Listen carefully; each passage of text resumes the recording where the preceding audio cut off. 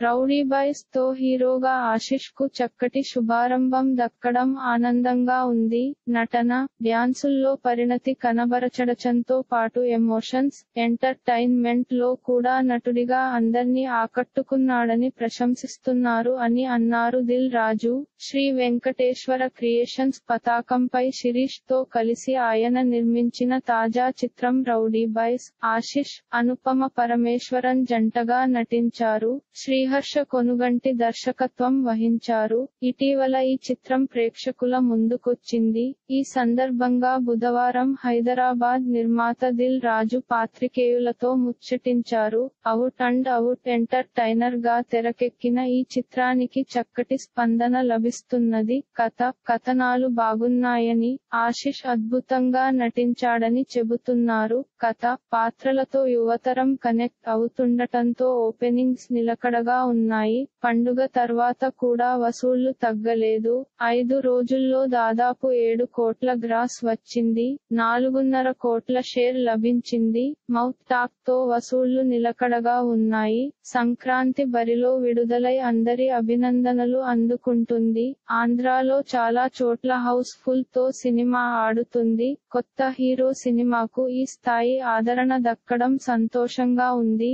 రెండో వారంలో ఇదే ఆదరణ లభిస్తుందనే నమ్మకం ఉంది ఆశిష్ అరంగేట్రం కోసం ఫ్యామిలీ ఓరియంటెడ్ సినిమా కంటే నటనకు ప్రాధాన్యమున్న యూత్ఫుల్ కథ అయితేనే బాగుంటుందని కొంతమంది శ్రేయోభిలాషులు సలహాలిచ్చారు. అతడి కెరీర్ను దృష్టిలో పెట్టుకునే ఈ కథను ఎంచుకున్నాం. భవిష్యత్తులో అతడు మంచి కథలు ఎంచుకునేలా చూసే బాధ్యత నాపై ఉంది. సుకుమార్తో కలిసి సినిమాను ఓటీటీ ద్వారా ప్రేక్షకుల ముందుకు తీసుకురావాలనే ఆలోచన ఎప్పుడూ రాలేదు. థియేటర్స్ కోసమే రూపొందించాం. యాభై రోజుల తర్వాతే ఓటీటీలో విడుదల చేస్తాం. దేవిశ్రీ ప్రసాద్ పాటలకు చక్కటి స్పందన లభిస్తున్నది. త్వరలో మ్యూజికల్ కంటెస్ట్ నిర్వహించబోతున్నాం. ఏపీలో యాభై శాతం ఆక్యుపెన్సీ అమలులో ఉన్న సినిమా కలెక్షన్స్ మాత్రం బాగున్నాయి. ఈ నిబంధనను మా సినిమాకు అడ్వాంటేజ్ గానే భావిస్తున్నాం. కరోనా భయాలు పక్కన పెట్టి సినిమాను ప్రేక్షకులు ఎంజాయ్ చేసే అవకాశం ఉంటుంది. తెలంగాణలో గురువారం ఇలాంటి మరిన్ని తెలుగు వార్త విశేషాలు కోసం ఛానల్కి సబ్స్క్రైబ్ చేసి గంట నొక్కడం మర్చిపోకండి.